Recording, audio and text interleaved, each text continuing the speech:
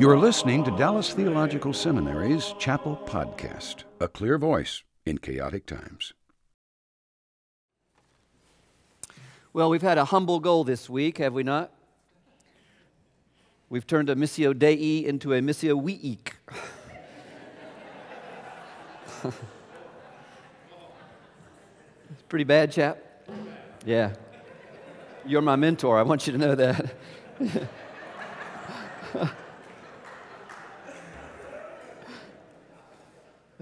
Our goal for the week has been simply to ask the question how should the concept of mission affect what we value, what we think, and what we do as Christians? Uh, as we've said each and every day, actually, our goal for the week was simply to mess you up a bit this week. What we wanted to do was turn your theology inside out and turn your world upside down. We've attempted to do that by introducing you to that strange Latin phrase, the Missio Dei we have defined that as simply God's intent and actions whereby all peoples may worship Him alone. Missio Dei, as you know, is the Latin expression that could be translated the mission of God, or more literally, the sentness of God, or the sending of God. This phrase, we believe, captures that which God is ultimately about in the world. It is His intent from eternity that all of creation worship Him alone. And everything that God does, from the very first word of creation to the very end and the summation of all things, we believe prosecutes this purpose of God that all peoples, in all places, at all times, may know and worship Him alone. We also propose that this concept of Missio Dei is not just a, a, way that we think paradigmatically about God, but perhaps as well a way that we think about the story of the Bible we propose the idea that mission is not something the Bible speaks about. In fact, we want to say that mission is what the Bible is about. Christopher Wright has said it this way the Bible renders to us the story of God's mission through God's people in their engagement with God's world for the sake of the whole of God's creation. The Bible is the drama of this God of purpose, engaged in the mission of achieving that purpose universally embracing past, present, and future, Israel and the nations, life, the universe, and everything in it. Wednesday, we explored how the concept of the Missio Dei affects the way we think about our humanity as the image of God. In that, we see that as the image of God, we have the privilege and the capacity to revere God in a unique worshiping relationship that only we have out of all creation. To reveal God, to throughout all the earth represent His presence, and ultimately to represent as well His sovereign rule. We also saw that this same image, the image of God, is Christ. From 2 Corinthians chapter 4, verse 4.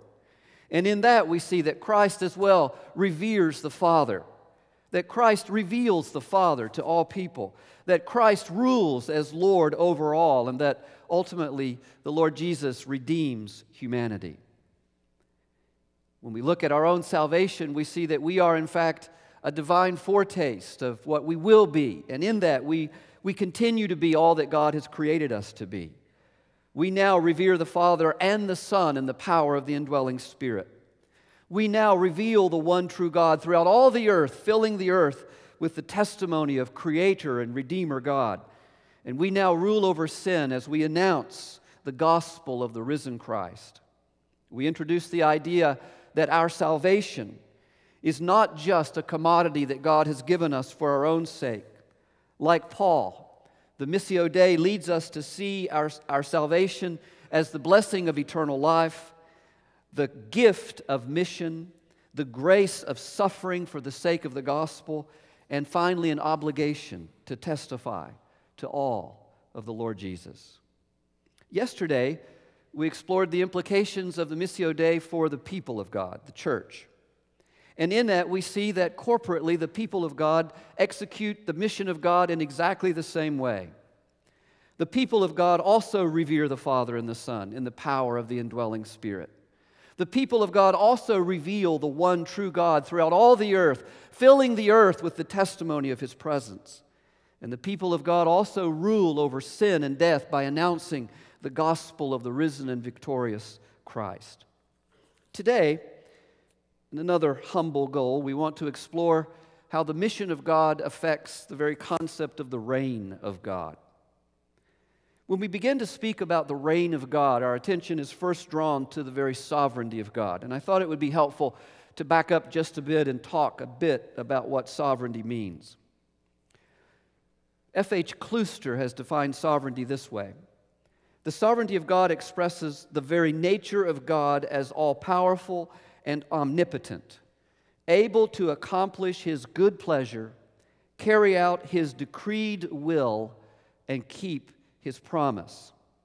In the scripture, the sovereignty of God is expressed as God is described as creator, as the supreme ruler over all, and as the lawgiver.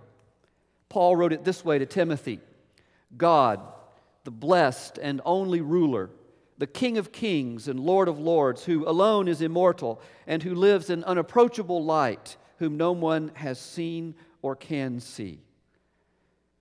The reign of God extends over all creation, from the very beginning, from the very first words, the sovereign rule of God over all that will come into existence is evident. Dr. Merrill has written it this way In the beginning, God created the heaven and the earth. By this simple but majestic affirmation, both king and realm are introduced. God's kingly role is apparent in his merely speaking the powerful word that brings into existence things that had never before been. The command, let there be, is imperious, not hesitant or doubtful. The whole narrative shows design, purpose, direction, order, and significance. An end is clearly rooted in divine omniscience and backed by divine omnipotence. And so, when we begin to think about the reign of God and the sovereignty of God, we begin in the very creative act of God, where as creator, he establishes himself as supreme ruler over all. But what's amazing is that the omniscient, omnipotent, sovereign God delegates the execution of his reign over all the earth to humanity. Again, Dr. Merrill. The climax of the narrative of Genesis 1 is the creation of mankind which in this context is also the clearest expression of the divine purpose in creation. After all things else had been made and put into their several positions of function and interrelationship, the Lord said, Let us make man as our image, according to our likeness. They will rule. What is lacking, apparently, after the whole cosmos has been spoken into existence, is its management a caretaker, as it were, who will govern it according to the will of the Creator. He could have done it himself without mediation, but for reasons never revealed in the sacred record, God elected to reign through a subordinate, a surrogate king responded to him, responsible to him. The purpose of God in creation was channeled largely to man's faithfulness in bringing it to pass.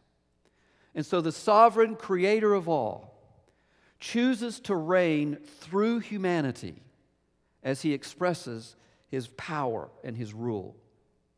It's interesting that later God chooses to execute or to reign through a nation, the nation of Israel. As we compare, for example, God's promise to Abraham, which is unilateral, uh, what many call a royal grant, the fulfillment of that promise is never in doubt. The descendants of Abraham will always be the sons of Abraham, the children of God. But when we look at what God does when He creates a nation, when He delegates to them His sovereign reign as a nation, we see a different type of agreement. An agreement that is conditioned upon their obedience to the charter that He establishes with them at Sinai. At Sinai, God extends to Israel an amazing gift a charter that describes precisely how they can live out the character of the Creator God and the purpose of God in all the earth. He offers them a relationship that, in subjection to Him, as they obey His law, they may enjoy incredible blessing while they serve His purposes in the world. And so the law, the Torah, the charter by which they live, gives them a unique position in the plan of God. They are truly a, a treasured people. It gives them a marvelously clear picture of God's holiness, of His righteousness, of His love, His virtues. And it gives them the opportunity to demonstrate throughout all the earth the one who has called them into existence. So Israel obligates themselves by receiving the charter to live in ways that honor Creator God and to prosecute His purposes. Let us never be mistaken that although God selects for himself a particular people, a people through whom his reign will be expressed, the purpose of God has never changed. It is that his glory will be demonstrated among all peoples. Blessing and judgment and restoration, everything that God does with and through his people is always for the execution of his purpose for all peoples. Without ever diminishing all that God has given to Israel, we have to admit that everything that God did, does with and through Israel, or did with and through Israel, he did not just for Israel's sake, but for the sake of all humanity. The promised end of God's plan for Israel the glorious restoration of the kingdom of God at the coming of Messiah is described as a time when nations will stream to be in the presence of the one who has returned, to worship him in glorious praise and prayer. You may refer to dozens of passages in the Old Testament in the prophetic literature, Isaiah 55, verses 6 to 8 being simply one of those. But this reign of God is not just delegated and executed through his people. We also see that the reign of God is delegated and executed through his Son. Jesus' role as the divine king in the reign of God is evident from the time when the angels announced to Mary his birth. Luke chapter 1, verses 31 to 33 reads like this You will be with child and give birth to a son, and you are to give him the name Jesus. He will be great and, he, and will be called the Son of the Most High. The Lord God will give him the throne of his father David, and he will reign over the house of Jacob forever.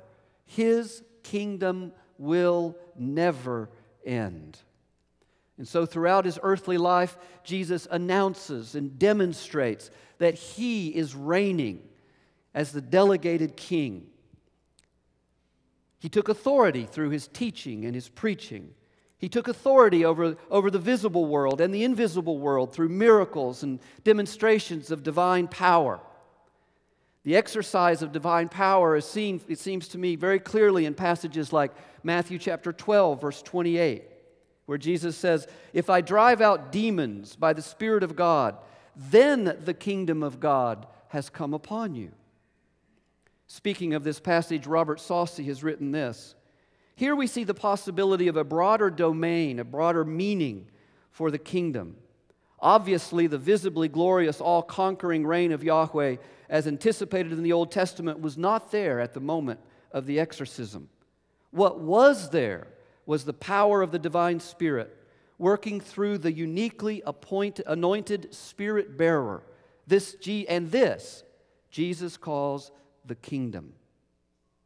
And so Jesus exercises the reign of God on earth, showing authority over, over demons, over disease, teaching and announcing that God is present in a way that he's never been present before. And then Jesus delegates his authority in the reign of God to his disciples. In Luke chapter 22, verses 29 to 30, we read this And I confer on you a kingdom just as the Father conferred one on me, so that you may eat and drink at my table in my kingdom and sit on thrones judging the 12 tribes of Israel. Darrell Bock has written this Jesus indicates that the 12 form an integral part of his mission. This statement is an important declaration of Jesus' current authority. that though unique, is a shared authority that he does not hoard for himself. The use of kingdom here has a comprehensive sense and refers especially to Jesus' rule and the authority as God's commissioned agents. The present tense in this context mean they are joining the task now, not just later.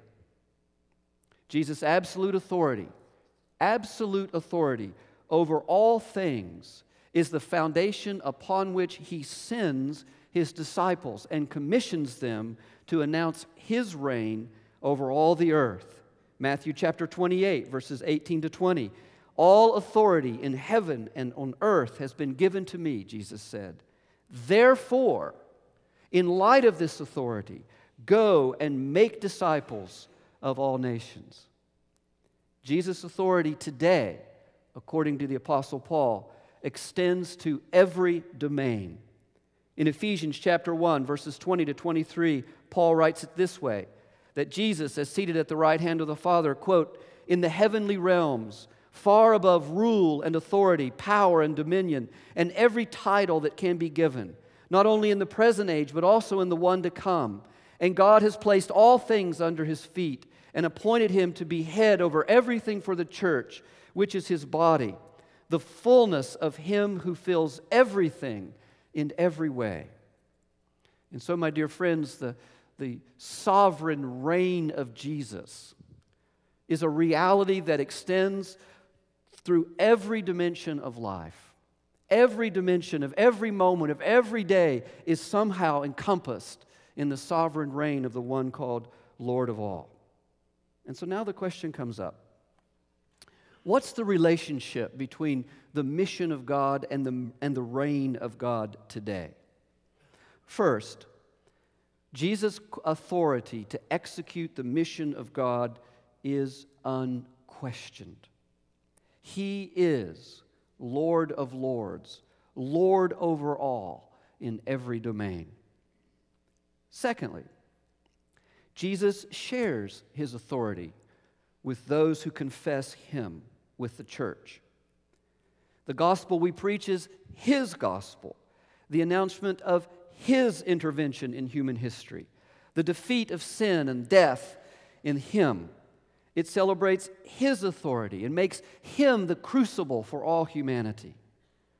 The church, it seems to me, executes the, the reign of Christ, the reign of God, through the presence and power of the indwelling Spirit. J.V. Taylor has written it this way The chief actor in the historic mission of the Christian church is the Holy Spirit. He is the director of the whole enterprise. The mission consists of the things that He is doing in the world. By the Spirit's power, we exercise authority over Satan by denouncing Satan's power and rescuing humanity from his deception and his bondage. By the Spirit's power, we exercise over uh, exercise Jesus' authority over sin and death by announcing the victory that is ours in Him. By the Spirit's power, we exercise the authority of Jesus over injustice and human suffering by prophetically fighting against structures of evil in the world, by, by feeding, the, feeding the hungry and providing healing to the sick and safety for those who are weak. And by the Spirit's power, we exercise the authority of Jesus over lawlessness and rebellion by, by living out the very character of the righteousness of our God. It's by the Spirit's power, the indwelling power of the Spirit, that we are able to execute the mission of God in the reign of Christ. In these last days, we wait for the full expression of the reign of Christ with urgent anticipation. We do not know, nor should we seek to know, when everything will be restored. In Acts chapter 1, verse 6, the disciples asked Jesus this very question are you now going to restore everything? And Jesus answered very clearly It is not for you to know the times or dates the Father has set by his own authority.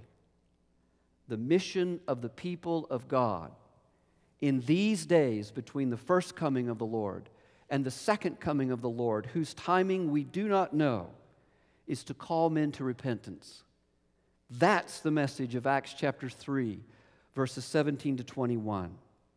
That's the reason we remain between the Advents to call men to believe, to turn away from their rebellion before Christ, to experience forgiveness of sin and the nearness, the refreshing of God that is theirs in Him. The restoration of everything when Christ returns will be accomplished by Christ in ways that only He can accomplish it. In all honesty, I suspect that every person in this room is going to be surprised by how Christ establishes his reign. I think we will marvel at the magnificent simplicity and clarity of it all. Our fascination, sometimes even our obsession, with attempting to predict when Christ will return by placing contemporary political entities into the eternal plan of God is not productive. In fact, even contradictory to our purpose during these days in the mission of God. I'll never forget during the time of Israel's retaliation in Lebanon this past summer, as hundreds of people were displaced all through southern Lebanon in Beirut I asked our church to pray for three things in the Middle East. I asked our church to pray for peace. I asked our church to pray for justice. And I asked our church to pray for the gospel, the preservation of the testimony of Jesus in those lands. And after we prayed for those things and the service ended, a man came up to me and he said, Isn't it neat to see how God's working out his prophetic plan in Lebanon? And I thought to myself, neat isn't really the word. I wonder if my Lebanese friend Paul, living in Beirut, being forced to hide in bomb shelters and evacuate, thinks that Israel's retaliation was neat. I wonder if his wife, Agnes, who has spent years cultivating contacts in the Palestinian slums outside of Beirut with a mobile medical clinic and setting up mobile literacy centers. I, I wonder if, as she fled the country for, with her own life, barely, I wonder if she thought it was neat. My dear friends, our obsession with trying to understand and place in context contemporary political realities into a future plan of God is ultimately, ultimately contrary to the mission that we've been given. We must be known for the gospel above all else.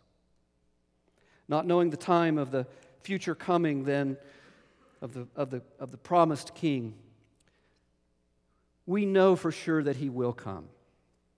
The certainty of Jesus' future reign gives us joyful assurance that the purpose of God will ultimately be accomplished.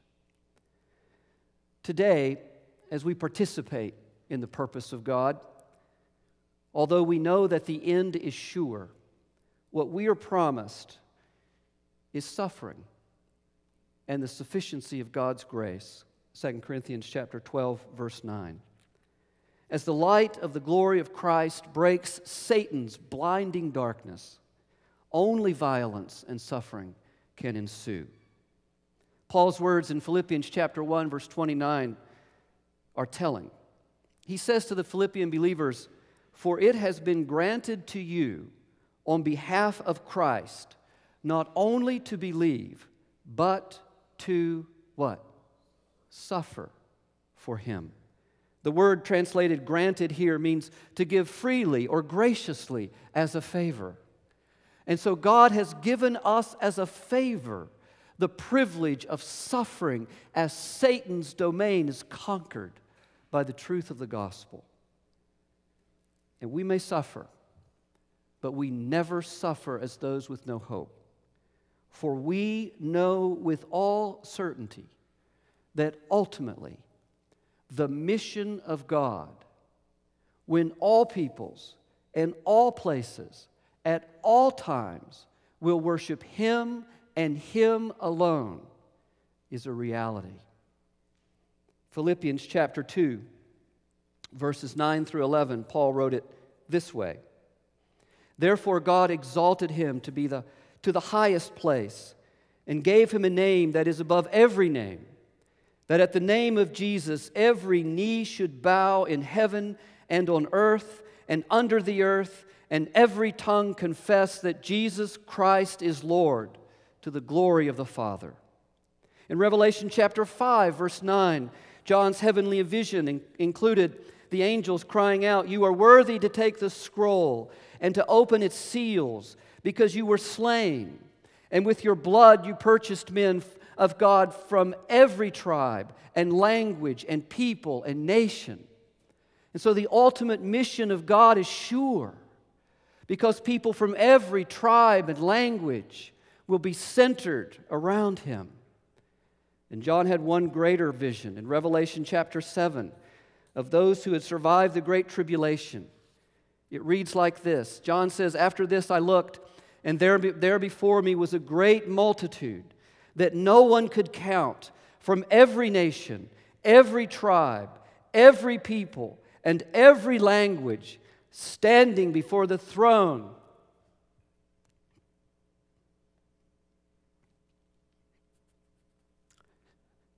And in front of the Lamb.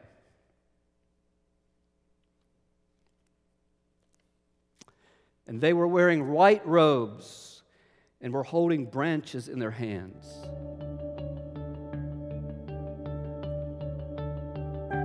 नजात हमारे खुदा की तरफ से है जो तख्त पर बैठा है और बर्रा की तरफ से आमीन हम और तमजीद और हिकमत और शुक्र और इज्जत और कुदरत और ताकत الخلاص لإلهنا الجالس على العرش وللخروف آمين البركة والمجد والحكمة والشكر والكرامة والقدرة والقوة لإلهنا إلى أبد الآبدين آمين Zbawienie u Boga naszego, zasiadającego na tronie i u baranka.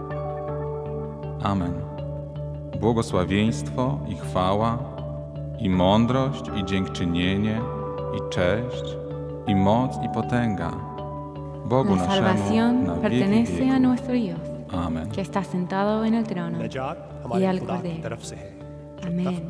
La bendición, la gloria, la sabiduría, उद्धार के लिए सिंहासन पर विराजमान हमारे परमेश्वर और मेम ने कहा जय जयकार हो आमीन हमारे परमेश्वर की स्तुति महिमा ज्ञान धन्यवाद आदर सामर्थ्य और शक्ति युगान योग बनी रहे आमीन ಸಿಂಹಾಸನದ ಮೇಲೆ ಕುಳಿತುಕೊಳ್ಳುವ ನಮ್ಮ ಪ್ರಭುವಿಗೆ ಮತ್ತು ಕುರಿಮರಿಯಾದಾತನಿಗೆ ಜಯವು ಲಭಿಸಿತು ಆಮೇನ್ ನಮ್ಮ ದೇವರಿಗೆ ಸ್ತೋತ್ರವು ಪ್ರಭಾವವು salvación ಜ್ಞಾನವು pertenece a nuestro ಕೃತಜ್ಞತಾ Dios, ಸ್ತುತಿಯು que está sentado ಗೌರವವು en el trono, ಅಧಿಕಾರವು y al Cordero. ಮತ್ತು ಬಲವು Amén. ಯುಗ ಯುಗಾಂತರಗಳಲ್ಲಿಯೂ La bendición, ಇರಲಿ उद्धार के ಆಮೆನ್. लिए सिंहासन पर विराजमान La हमारे sabiduría, परमेश्वर का el honor, और ìgbàlà ní मेमने का ti जय ọlọ́run wa जयकार tí ó हो jókòó lórí ìtẹ́ आमीन àti ti हमारे olùgbàlà परमेश्वर की स्तुति महिमा ìbùkún ज्ञान àti ògo धन्यवाद àti आदर ọgbọ́n àti सामर्थ्य और ipá शक्ति àti ọlá युगान àti युग बनी agbára रहे àti ọpẹ́ आमीन fún ọlọ́run wa láé àti títí láéláé àmín. Salvation belongs to our God, who sits on the throne and to the Lamb. Amen. Praise and glory and wisdom and Thanks and honor and power and strength be to our God forever and ever. Amen. Amen. Amen. Amen.